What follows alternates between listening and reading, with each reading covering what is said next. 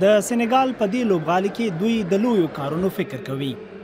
جوړ شوي روباټونه سیالۍ ته چمتو دي او ځینې یې په سمبولیک ډول په بیرغونو پوښل شوي هم دي نجونې او هلکان د دوی په جوړو شوو روباټونو کار کوي پوهېږم چې ډېرو خلکو ښایي نه غوښتل دلته راسي خو هغوی چې راغلي ښه ساعت یې تیر سو له یوه ملګري سره مې خبرې وکړې ان غوښتل یې خپل مسلک بدل کړي غوښتل یې د روباټ جوړولو انجنیر سي د دې سیالانو عمرونه د یولسو او نولسو کلونو ترمنځ دي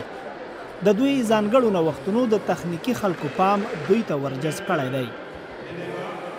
د ځینو لپاره له روباټ جوړولو هاخوا دا خورا لوی کار دی.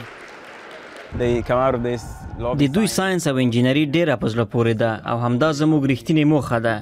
زموږ هدف دا دی چې دا ډول کوچنیو ماشومانو ته هغه ساینس ور زده کړو چې دوی ورسره مینه لري.